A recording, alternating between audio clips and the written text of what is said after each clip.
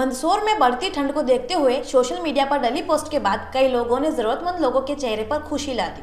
दरअसल ठंड से ठिठुरते लोगों के लिए, कपड़े इकट्ठे करने के लिए शहर के युवा पत्रकार कमलेश गढ़िया ने एक पोस्ट फेसबुक और व्हाट्सएप पर शेयर की, जिसके बाद कई लोगों ने अपने पुराने गर्म कपड़े एकत्र किए। वह गांधी चौराहे पर देना बैंक के नीचे बनी नेकी की दीवार पर रख दिए।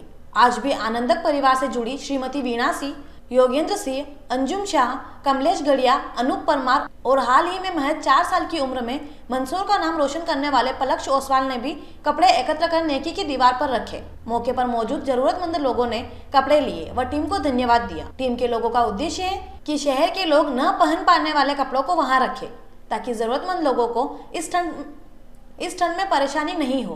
देखिए, सभी जानते हैं कि ठंड चल रही है और इस ठंड में जो लोग बेघर है, जो निर्धन है भिक्षार्थी करने वाले लोग हैं तो उनके पास पहनने के लिए कई बार कपड़े नहीं होते हैं, जो गर्म कपड़े होते हैं। और हम अमूमन जानते हैं कि कई घरों में ऐसे कपड़े होते हैं जो लोग पहन नहीं पाते और ऐसे ही पड़े रहते तो हम लोगों ने एक सोशल मीडिया पर आनंद संस्थान के ज़रिए एक अभियान चलाया था, एक पोस्ट डाली थी, जिसके बाद हम लोगों ने कई जगहों से कपड़े इकट्ठे करे और यहाँ पर रखें लगातार ये अभियान चल रहा है। आज हम लोगों ने चार पाँच लोगों से भी कपड़े इकट्ठे किए और यहाँ पे भी रखे। हैं हम लोगों से भी यही अपील कर रहे हैं कि जो पड़े हैं, वो यूज़ नहीं आ रहे हैं। यहाँ रखेंगे तो किसी गरीब के काम आएँगे, जो इस ठंड में वो पहन पाएँगे, वो इस ठंड से बच पाएँगे। आनंदम में राज्य आनंद संस्थान भोपाल से आनंदम का एक प्रोजेक्ट है ये। और इसमें एक नेकी की दीवार करके कॉन्सेप्ट है, जिसके तहत हम यहाँ पर अभी सर्दी के मद्देनज़र कुछ गर्म कपड़े सभी लोगों के सहयोग से रखने आए हैं।